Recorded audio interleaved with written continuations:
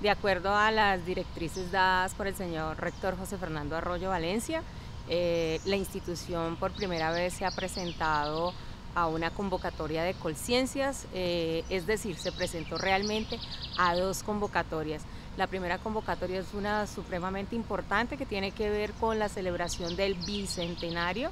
Ellos tenían dos modalidades para investigación. La escuela se presentó en una de las modalidades donde tiene que ver con infraestructura y adecuación, eh, sobre todo para los laboratorios de alta tecnología que tenemos eh, dentro de la institución. Allí se presentó un proyecto, estamos a la espera pues de eh, cuáles serán los resultados que van a ser entregados más o menos en septiembre. Dentro de Colciencias también hay otra convocatoria que fue la convocatoria 843 en salud. Esa convocatoria eh, presentamos exactamente cuatro proyectos de investigación. dentro de esos cuatro proyectos de investigación hay algo supremamente importante, es que la escuela hizo alianza con una de las mejores universidades del país, que es la Universidad de Antioquia.